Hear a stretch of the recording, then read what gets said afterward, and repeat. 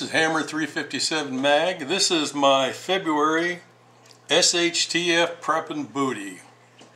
And I did pick up a few knives, which I'll be doing quick looks on, but let's go through them uh, quickly. This is the Ontario Raider. This is the SOG Tusami, or Tsunami.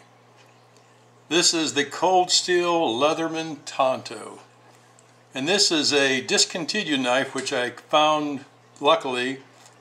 It's the Ontario Spec 1 uh, SP21. Uh, basically, it's their version of the Mark 1.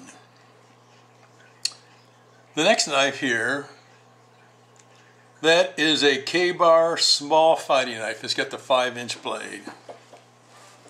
Here we have the Cold Steel Here we have the Cold Steel American Lawman. That's the full size one. Then we have the Spyderco Persistence.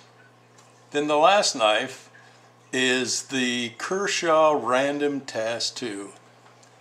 And just so that you don't think I'm frivolous and I'm not really stocking up on my preps, I did get uh, some more Jif peanut butter and I got a couple more soups. Uh, that have the beef and the and uh, vegetables in them. So this is a Hammer 357 mag with my February booty. And yes, I did get a little carried away on the knives. I will be doing a quick look on these in the future. So remember, long live rock and roll and the American dream.